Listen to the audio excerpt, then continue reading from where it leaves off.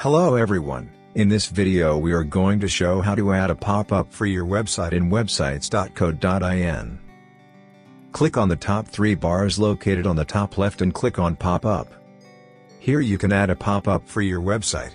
Add the description of the pop-up, make sure to write an attractive description as it will attract more and more customers.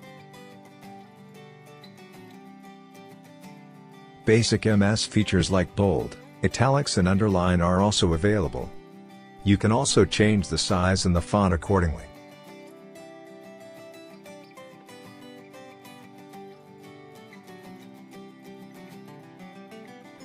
You can also add an image if you want to promote your product.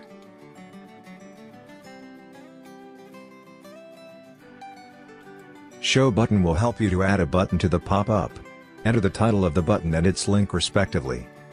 Like here I am adding my product link. The pop-up will only appear once in 24 hours to your visitors.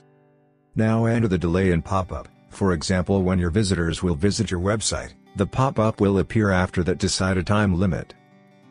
By toggling off or on the active button, you can choose whether to enable it or hide.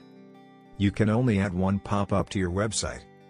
After filling all the credentials click on Submit.